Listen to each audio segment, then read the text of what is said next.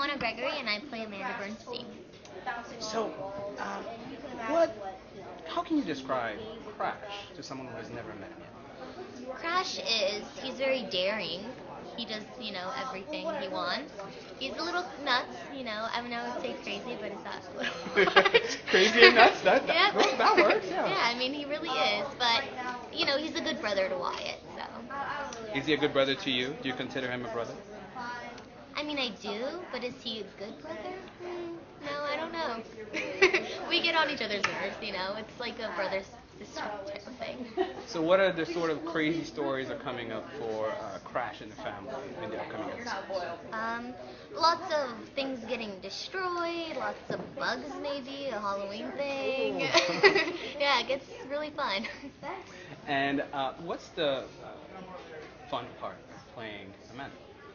Well, I could relate to her a lot. Like our styles are really similar, so I love my wardrobe. It's so much fun, and um, it's really cool playing an older sister because I have an older brother, so I like this. And uh, how is it just working with a, a puppet? Is it fun? it's really fun. It's weird. you know, we've gotten a lot more used to it, but you know, because we have to get around to him, doing the puppet and everything. But you know, I find myself like reacting to him just like I'd react to another actor on set. It's interesting. I'm curious.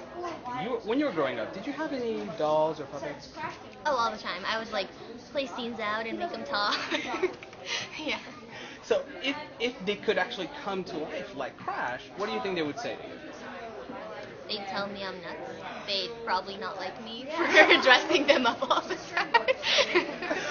They're like, why did you do this to me? yeah, but they just tell me what a cool person I am. That's what we all want to hear, right? Yeah, that, that, that sounds like a good plan. Yeah. Uh, and now I have a really tough question here, right? I mean, it's super, super tough. You gotta, it's a thinker, Gosh, right? okay. You ready? I'm ready. Would you rather be a human being that can only talk to puppets or dolls, or a doll that can only talk to humans. I'd be a doll. That's so cool. like, like, no one's a doll, you know? Like, why not? You'd be a doll. And there's a lot more humans out there that you can interact with. That sounds like a good plan, right? Right? Now, uh, my final question is, do you have a message for uh, fans as they're ready to watch the first episode of Crash and Ghost? I'd say get ready, you know, because it's pretty crazy and it's really fun, and you know, get all your family and friends together because a lot of things, you know, are really relatable to a lot of people, and yeah, that's what I'd say.